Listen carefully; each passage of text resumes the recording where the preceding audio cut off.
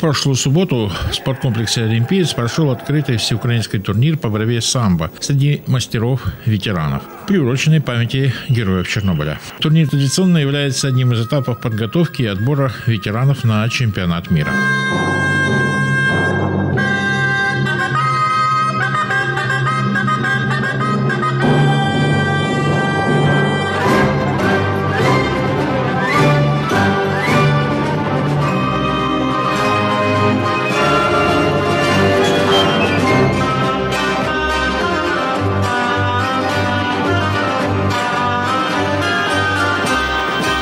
Торжественное открытие турнира начали с минуты молчания.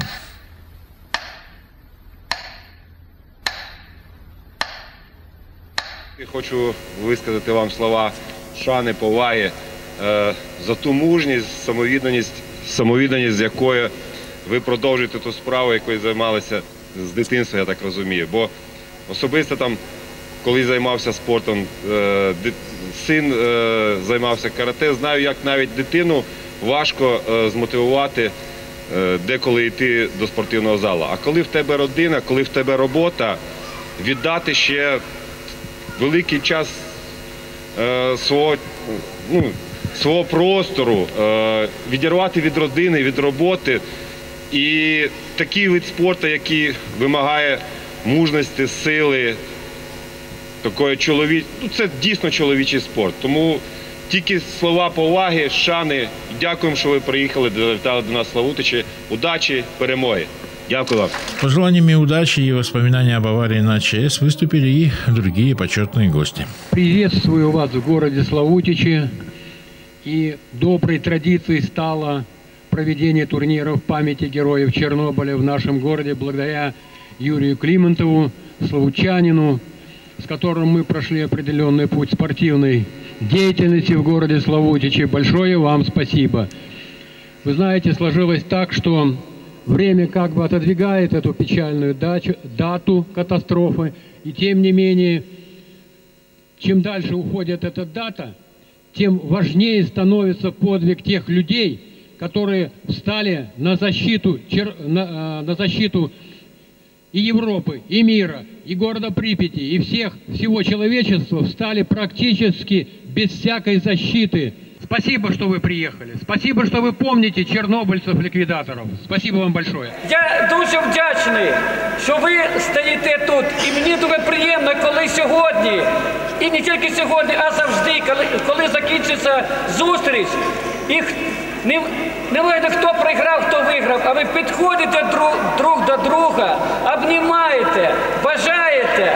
Так що це, оце у вас приклад дітям, всім людям. Живи дружно, красиво, здоров'я вам! эпогей перед чемпионатом мира, турнир в Славутичи, конечно. Ну, э, что сказать, это этап подготовки к чемпионату мира. Мир в этом году на Кипре. И нам обещают, что сразу вот после майских праздников будет положение, и надо сразу брать билеты, кто планирует участие в чемпионате мира. Ну, а сейчас мне, э, знаете, в этом городе прошли, скажем так, лучшие годы моей тренерской деятельности. И очень приятно сейчас наградить э, учеников, которых мы с Олегом Геннадьевичем Копыловым тренировали и знаем вот со школьной скамьи. А сейчас из рук заместителя головы они получат определенные звания.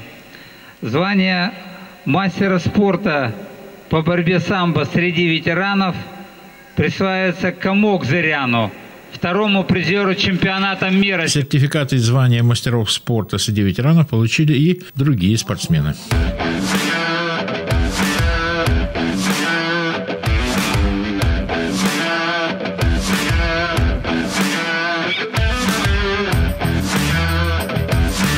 В соревнованиях приняли участие команды из Беларуси, спортсмены из Донецкой, Львовской, Харьковской, Сумской, Черниговской областей, а также самбисты из Киева, Одессы, Винницы, Краматорска и Славутича. Случайин Шубин Евгений весе плюс 100 на соревнованиях занял второе место.